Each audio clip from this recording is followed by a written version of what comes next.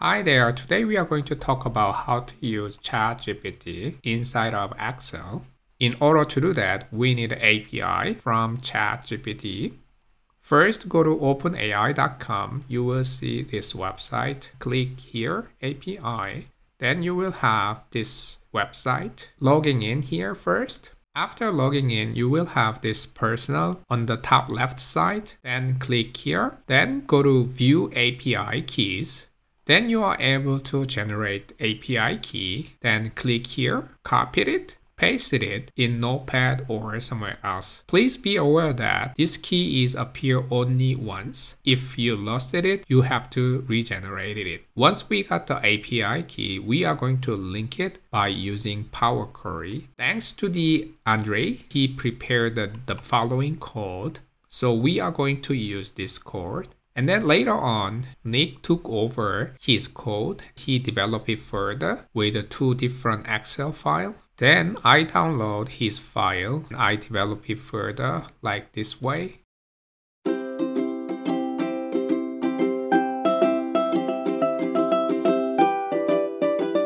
What we are going to do is more or less two things. Demonstration of the tool, basic idea of how to build the tool. After downloading the file from below link, we have to unlock the VBA code. Please go to the folder where you save the Excel file, Property, General, select the Unblock checkbox, select OK button. Next, we have to unlock the Power Query security in Excel. Once you open Excel file, it looks like here. Just click ChatGPT button here we are going to have this message box. Just select this part and saving it.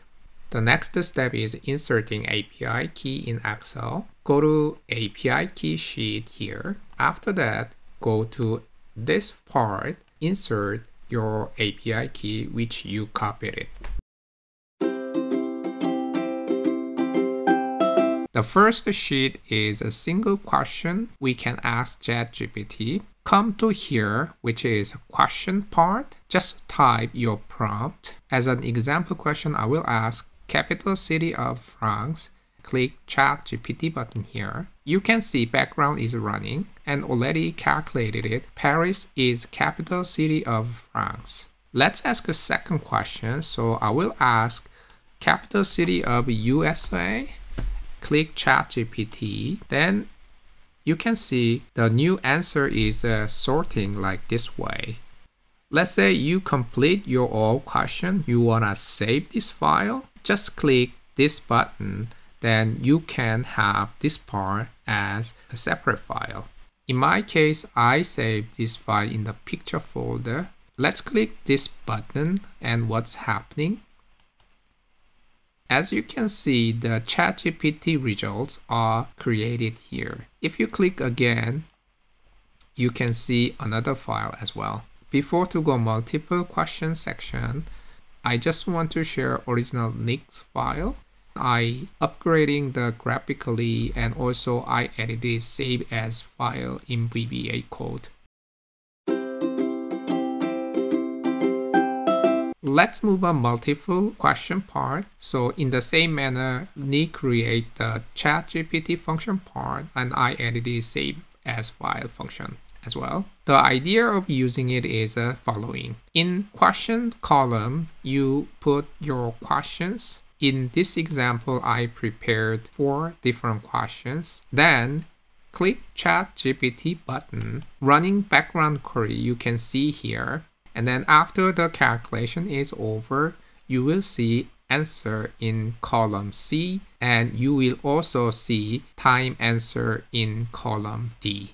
Now we got the, all this answer from ChatGPT. Everything looks quite nice. I will click the Save As button again. You can see ChatGPT result with multiple, single and multiple.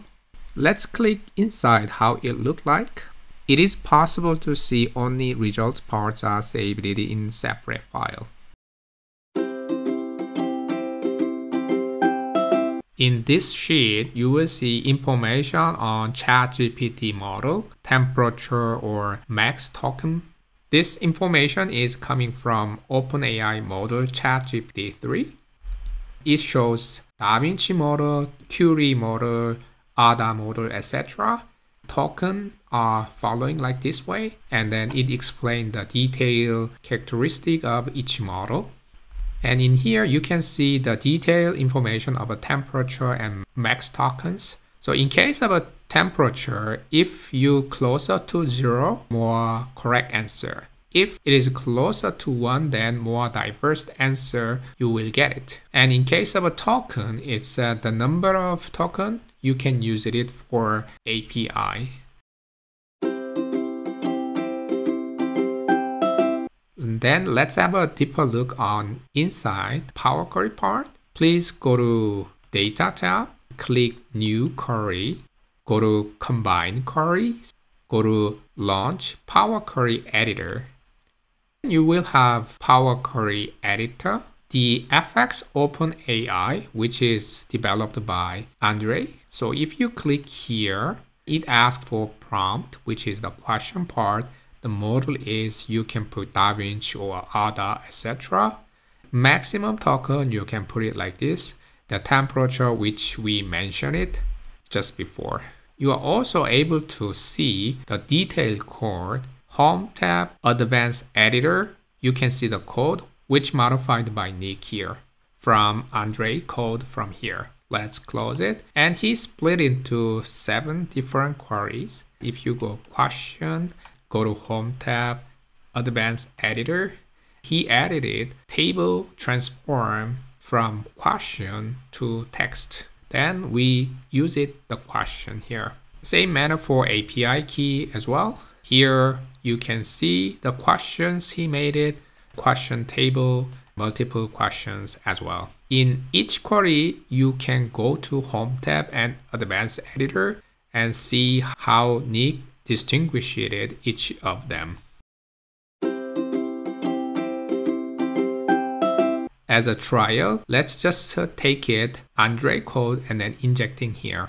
Please go to Andre website from below link and you copy them. Control C, go back here. In Home tab, go to New Resources, Other Resource, go to Blank Query, Go to Advanced Editor, delete them all, Control V, done. Double clicking it, let's say FX, OpenAI, original. Automatically, his coding is implementing into here. In here, we can directly testing it. So for example, like here, invoking it for confidentiality and so on. Click this button we can cancel it. In order to solve this issue, you have to go back here and then advanced editor. You need an API key here. So you have to copy paste it into here. I just uploaded the API key inside here. Let's uh, redo it. Click the here and click connect. Then you are able to see the feedback from ChatGPT but this is not comfortable. It's better to do in the Excel. Therefore, Nick develop it further into separate queries. So basically, we don't need this part. Erase it, this part. Just click delete button. You are able to delete it. This one also, we don't need it. So we just deleted it. In order to close this uh, Power Query editor, just go to close and roll button select close and load again. Then you can go back here and this one we don't need it, just close down. Long story short, just type here in the question area, then you are directly able to use ChatGPT.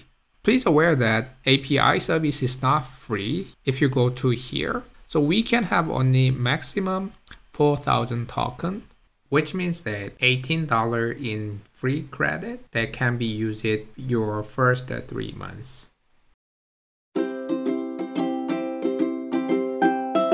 Lastly, let's have a look at the Save As File VBA as well.